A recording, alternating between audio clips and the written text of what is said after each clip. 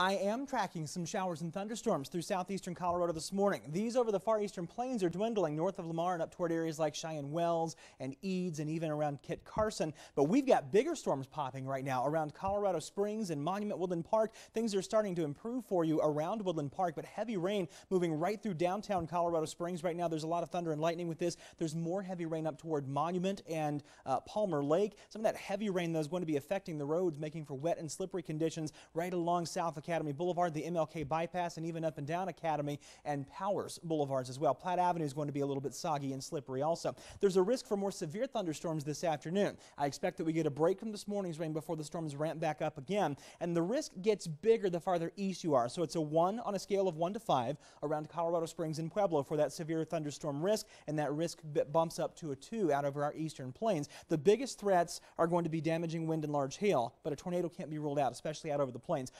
Rainfall amounts will average between a quarter inch and a half inch, uh, especially across El Paso and Teller counties. Now, the rain may be more spotty around Pueblo, Pueblo West, and Cañon City, but I do expect that we will have some rain around, and that rain can be heavy at times. And in those heavier spots, we can see some issues with some flash flooding.